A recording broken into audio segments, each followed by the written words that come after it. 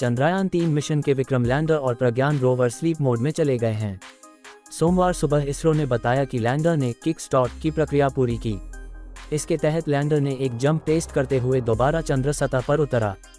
इससे पहले रविवार को रोवर स्लीप मोड में चला गया था। चंद्रयान तीन चाँद की सतह पर अपने मिशन पर है। इस बीच, भारतीय अंतरिक्ष अनुसंधान संगठन इसरो ने सोमवार सुबह बताया कि विक्रम लैंडर ने किक स्टॉट की प्रक्रिया पूरी की। इसके तहत लैंडर ने एक जंप टेस्ट करते हुए दोबारा चंद्र सतह पर लैंडिंग की। इससे पहले इसरो ने बताया था कि रोवर, प्रज्ञान, अपना काम पूरा कर स्लीप मोड में चला गया। आखिर विक्रम लैंडर में हुई किक स्टार्ट की प्रक्रिया क्या है? इसका महत्व क्या है? रोवर, प्रज्ञान की क्या स्थिति है? इसके स्लीप मोड में जाने का क्या अर्थ है? आइए समझते हैं। सोमवार को एक एक्सपोस्ट में इसरो ने जानकारी दी कि विक्रम फिर से चंद्रमा पर सॉफ्ट लैंड हुआ। विक्रम लैंडर ने अपने मिशन के उद्देश्यों को पूरा कर लिया। ये सफलतापूर्वक एक हॉप प्रयोग यानी जंप टेस्ट से गुजरा। आगे अंतरिक्ष एजेंसी ने बताया कि कमांड पर विक्रम लैंडर ने इंजन चालू किए। उम्मीद के मुताबिक इसने खुद को लगभग 40 सेमी ऊपर उठाया और फिर 30 से 40 सेमी की दूरी पर सुरक्षित रूप से उतर गया। इस प्रक्रिया को एजेंसी ने किक स्टॉट बताया है। राष्ट्रीय अंतरिक्ष एजेंसी ने किक स्टॉट प्रक्रिया के महत्व के बारे में जानकारी देते हुए कहा कि यह भविष्य में चाँद की सतह से सैंपल भेजने में सहायक होगी। इसके साथ ही इसरो ने बताया कि स्टॉट से मानव मिशनों को भी मदद मिलेगी। एजेंसी ने आगे बताया कि पेलोड अब बंद कर दिए गए हैं। वहीं लैंडर रिसीवर चालू रखे गए हैं। एक बार सौर ऊर्जा और बैटरी खत्म होने पर विक्रम प्रज्ञान के बगल में सोएगा। इसरो के मुताबिक 22 सितंबर के आसपास उनके जागने की उम्मीद है। अंतरिक्ष एजेंसी ने बताया था कि रोवर ने अपना काम पूरा कर लिया है और इसे अब सुरक्षित रूप से पाक किया गया है। प्रज्ञान को स्लीप मोड में सेट किया गया है। इससे के मुताबिक, रोवर को सुलाने की प्रक्रिया इसलिए की गई क्योंकि चंद्रमा पर अब रात हो गई है। इससे पहले चाँद की सतह पर घूमते हुए रोवर ने चाँद के दक्षिणी ध्रुव पर एक अद्भुत घटना को रिकॉर्ड किया। इसे एक प्राकृतिक घटना माना जा रहा है और इसरो इस घटना के स्रोत के बारे में पता लगाने की कोशिश कर रहा है। दरअसल, रोवर प्रज्ञान ने चाँद पर एक खास कंपन को रिकॉर्ड किया है। स्लीप मोड में जाने का क्या अर्थ है? क्या अब रोवर दोबारा काम करेगा?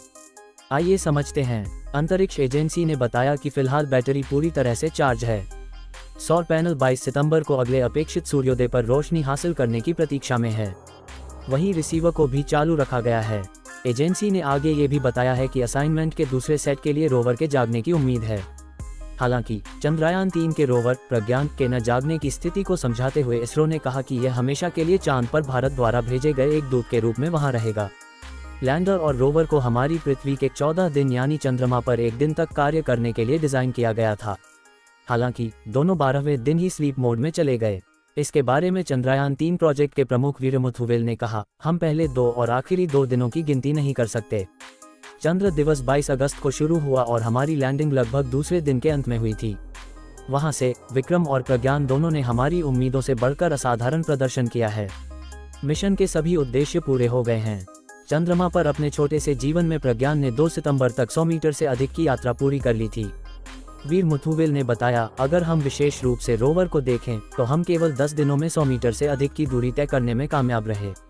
वहीं, कई अन्य मिशन जो लंबे समय तक चले, यहाँ तक कि छह महीने तक, केवल 100 से 120 मीटर की दूरी ही तय कर पाए। चंद्रयान तीन मिशन चंद्रयान दो का ही अगला चरण है, जिसने चंद्रमा की सतह पर उतरकर वैज्ञानिक परीक्षण किए। मिशन ने 14 जुलाई को दोपहर दो बज के पैंतीस मिनट बजे श्रीहरिकोटा केंद्र से उड़ान भरी थी और योजना के अनुसार 23 अगस्त को चंद्रमा पर उतरा था। इस मिशन से भारत, अमेरिका, रूस और चीन के बाद चंद्रमा पर सॉफ्ट लैंडिंग करने वाला दुनिया का चौथा देश बन गया। इसके साथ ही चाँद के दक्षिणी ध्रुव पर उतरने वाला भारत पहला देश बन गया। आपको यह वीडियो कैसा लगा, इसे कमेंट्स में ज़रूर बताएँ। अगर आपके कोई सवाल हैं तो आप मुझसे पूछ सकते हैं। धन्यवाद, और हमारे चैनल को सब्सक्राइब करना ना भूलें। Subscribe now and press the bell icon.